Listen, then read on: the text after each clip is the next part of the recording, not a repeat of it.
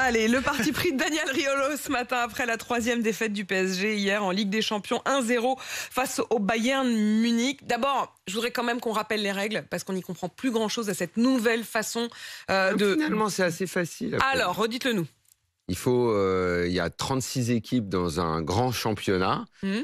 Tant que vous êtes dans les 24 premiers, je, répète, 24 premiers, 24 sur 36, je ne sais pas si on se rend compte de la marge que ça laisse pour que l'aventure se continue en Ligue des Champions. Bon, les 8 premiers, mais là on est beaucoup trop loin pour le PSG maintenant, les 8 premiers se qualifient directement pour les huitièmes de finale. Rendez-vous au printemps quand il fait beau et, et que, tout, et que tout est Et que tout est oublié. voilà.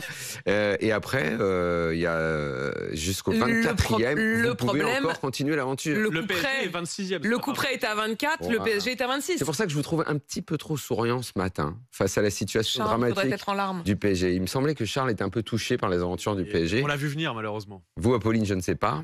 Mais Moi, toujours je- j'essaie de rester en terrain neutre à peu près à mi-chemin entre l'OM et le PSG.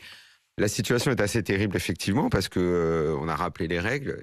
Encore une fois, je vais le redire, je ne sais pas si on arrive à mesurer le fait que cette équipe, qui possède l'un des trois, quatre plus gros budgets de cette compétition, ça veut dire des moyens pour recruter, pour construire une belle équipe, n'est pas, après quatre journées, il leur reste trois matchs pour se sauver.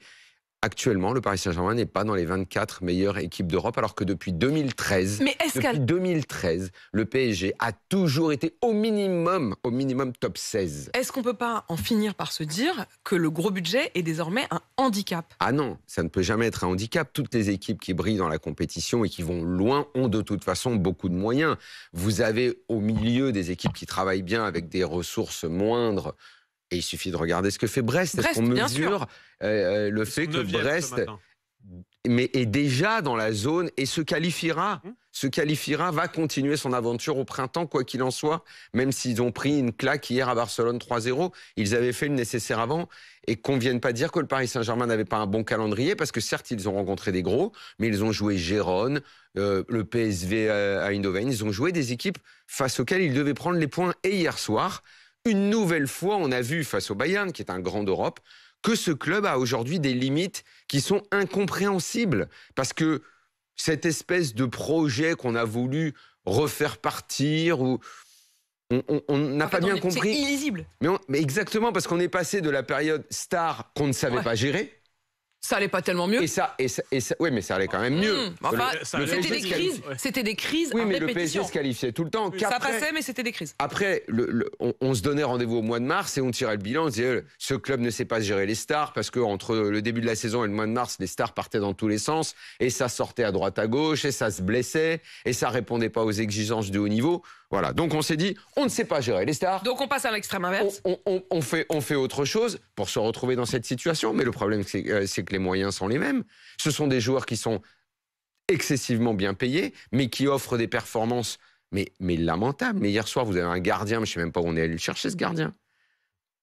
On a sorti Donnarumma parce qu'il commettait beaucoup de boulettes, euh, notamment sur les ballons hauts, les corners. Mais hier, Sofonov dans les cages et bah, c'est lui la boulette, le 1-0. Et voilà, e- exactement. Ce qui fait qu'on ne comprend plus au projet de ce club. Et puis surtout, surtout, la cerise sur le gâteau des choix incompréhensibles, c'est qu'on est allé chercher un entraîneur qui, dans un microcosme footballistique, est considéré comme quelqu'un, un intellectuel du football. Certains la- le- le- lui attribuent. Un intellectuel du football. Ouais, certains que lui attribuent. Est-ce que c'est vraiment une très belle qualité, ça, d'être un intellectuel Oui, du oui, football? oui, ça l'est. Il Faudrait, quand même que ça marche sur le, sur le terrain, quoi. Le, le problème, c'est quand vous parlez beaucoup et que vous dites que vous allez révolutionner le football et que vous avez des belles idées et que vous vous prenez pour un génie quand vous parlez aux médias, que vous méprisez du matin au soir en leur disant qu'ils ne comprennent rien et à travers les médias, forcément, le peuple du football, les supporters du PSG ne comprennent rien et que lui comprend tout. Nous, ce qu'on comprend, c'est que le PSG est 26e ce matin. Et Daniel Qui va sauter le premier?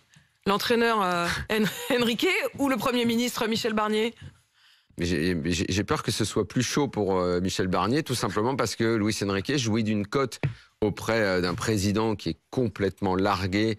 On, on- on a juste deux secondes là. Ah ouais. hier soir à Munich, c'est la première fois que je voyais ça. Les supporters du Bayern ont mis une énorme banderole avec plein de messages offensants à l'adresse de Nasser El Khelaifi, le président du PSG. Global, normalement, on s'en prend jamais à un président. Mm. on peut le faire contre son propre président dans son stade.